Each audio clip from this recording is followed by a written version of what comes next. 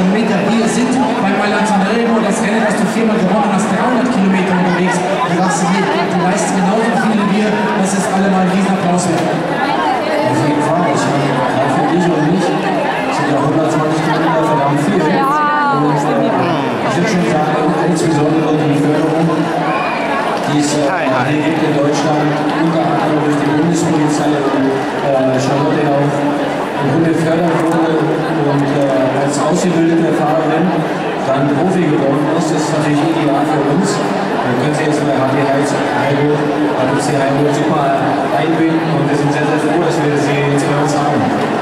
Charlotte, die Berliner, das ist ein Radsportbegeistertes Publikum.